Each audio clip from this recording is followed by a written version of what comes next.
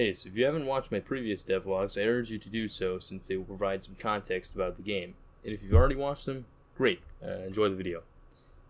Okay, so it's been about four months since my last devlog, and to be honest, I just got stuck. For a couple months, I really had no idea where to go from where I was in the game's development, and I didn't have the programming knowledge to add new features or improve the ones I already had.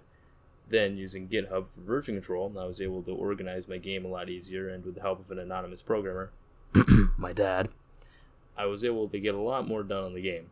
He created an event system in Unity allowing for refactoring of some of the systems I had in place, such as buttons and the sound manager. This allowed me to focus a lot more on 3D modeling and level design. I modeled a couple pillars as well as a platform to go on top, and I modeled a rope bridge and some big rock chunks to make a canyon out of.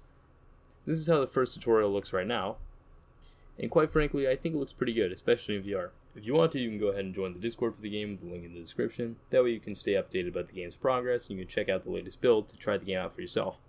I would also appreciate any feedback, but keep in mind that the game is in its very early stages, so it will definitely have some bugs. The level you're watching me play right now is the first movement tutorial for the game, and there will be at least three other tutorial levels after this one to teach the player how to jump, wall jump, and super jump. And honestly, until saying that out loud, I didn't realize how much jumping there is in this game. I mean, obviously I'm aware of it, but I didn't really think about the fact that three out of the four tutorial levels are for jumping. I guess that just goes to show how versatile this movement system is, despite having no button input. Oh yeah, and I disabled leg collisions with the ground, so until I add traps to cut off your legs, you won't have to worry about stuff like this happening. And don't worry, you can still move around just fine without the legs colliding with the ground. In fact, it's a bit smoother and uh, less glitchy.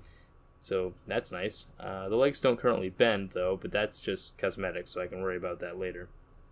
Also, while playtesting the game, I realized that the sliding mechanic would work really well for a VR version of those uh, surf maps in CSGO. So let me know if you want to see something like that in the future.